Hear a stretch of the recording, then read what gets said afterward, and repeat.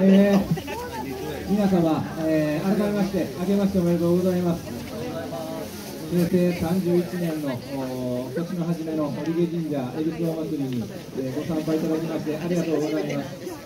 え本年は、え天皇陛下が生前退位され、え平成からまた新しい元号に変わる、新しい民王に変わる、まあ、我々日本国民としては非常に喜ばしい年であります。